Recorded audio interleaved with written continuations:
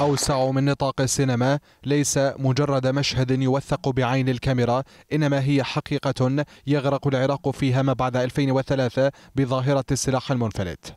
تصنيف السلاح المنفلت الذي قدمه رئيس مجلس الوزراء جاء في دوائر محاربة الدولة للظاهرة التي تنسف فرص الاستثمار والاستقرار. الكاظمي ركز في آخر عملية لضبط السلاح المنفلت على أنواع الأخير فمنه الجماعات الخارجة عن سيطرة الدولة وعصابات الجريمة المنظمة والمخدرات والإرهاب المتمثل بداعش وغيره وخطف وقتل وترهيب. وبين ما يساق فعله لأجل تحقيق أجندات خارجية ونفوذ وجوه تحقق مآرب شخصية يجدد العالم تحذيره لما تصنعه أفعال السلاح وهو ما تؤكده دوما منظمات حقوق الإنسان والعفو الدولية والأمم المتحدة.